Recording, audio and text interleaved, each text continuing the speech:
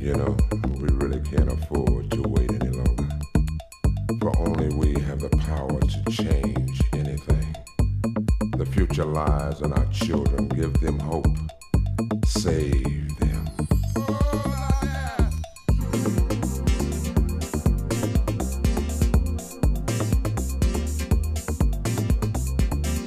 Save